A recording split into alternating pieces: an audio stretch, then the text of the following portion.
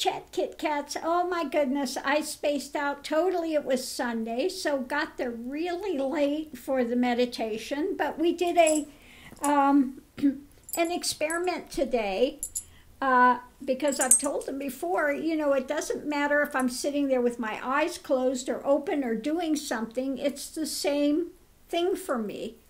Um, so we did the uh, experiment today and they they got the same transmission as they do if I'm sitting there with my eyes closed for meditation. Because when you get to realization the mind stills. When the mind stills it's the same as being in meditation all the time no matter what you're doing you know? Um, so they got to uh, experience that today. Now while they were meditating I did a reading on Anne Boleyn Okay, and I'm just going to give you the, the highlights of uh, what it came out to be.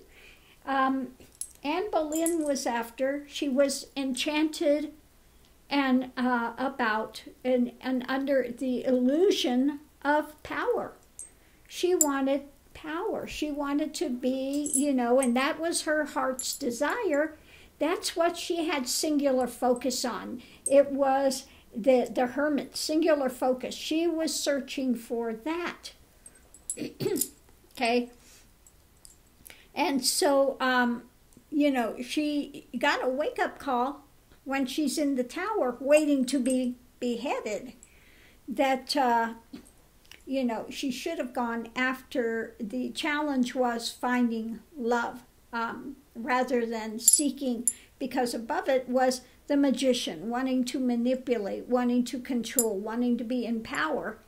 And so the challenge is to find uh, love, to find that heart centered.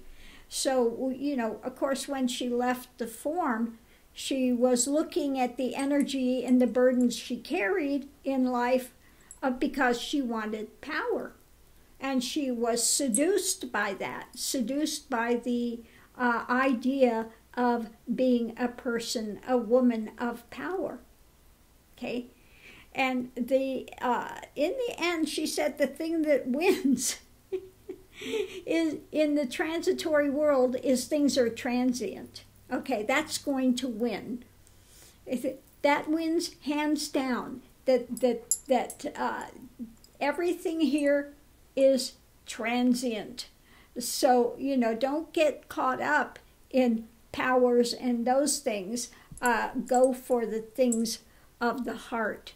Um, so that was interesting. But she said, yeah, she started getting a clue when she was in the tower. then,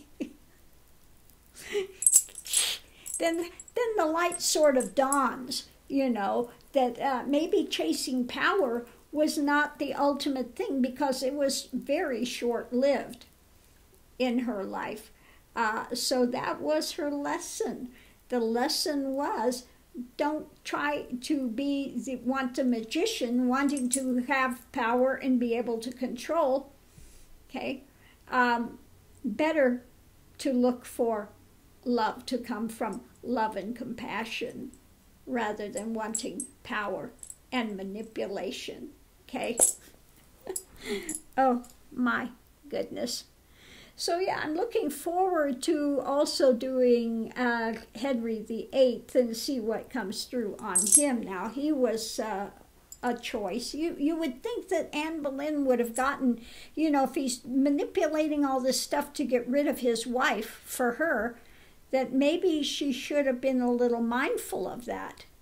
But no, she was seduced by power and you know he's going to love me forever. And she's got these fantasies about the family the royal family okay?